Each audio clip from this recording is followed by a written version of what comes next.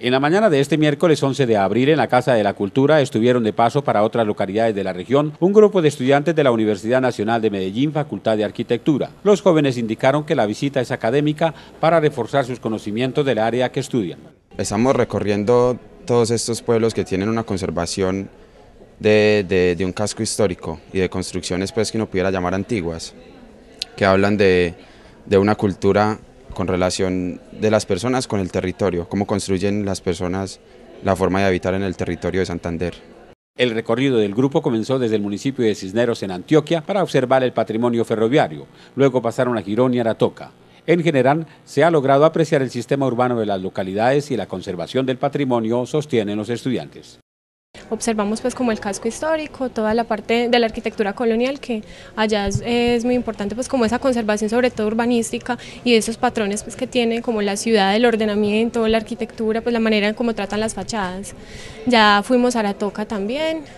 observamos pues una, capilla muy interesante que habla pues nos habla de un de una época pues que atravesó Colombia eh, que tenía influencias pues como el barroco. Entonces es muy interesante encontrar como en un territorio que al parecer está tan escondido pues como una arquitectura tan tan importante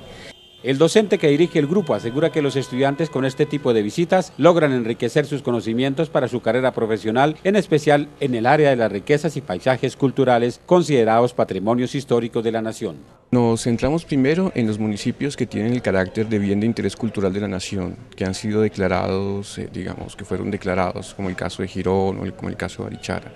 y luego vemos en las áreas de influencia de, de, esos, de esos sectores antiguos y vemos la situación de municipios que potencialmente pudiesen tener valores similares para poder, eh, digamos, aproximar a los estudiantes a las metodologías para hacer las declaraciones de bienes de interés cultural y ver la situación pues, real de los municipios en, en ese ámbito. Los estudiantes serán evaluados en el contenido de lo encontrado, observado, palpado e investigado. De un lado los estudiantes tienen que recoger información fotográfica, tienen que hacer dibujos, sobre toda la percepción que tuvieron del recorrido en términos, digamos, que va desde el paisaje, como el caso del, digamos, del Chicamocha, del cañón de Chicamocha que es tan singular, hasta las técnicas constructivas, que es como el ejercicio final que hacemos, que es la recuperación, por ejemplo, de la técnica la tapia pisada que vamos a ver de cerca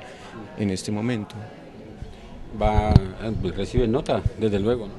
Sí, claro que sí, desde luego ellos eh, tienen,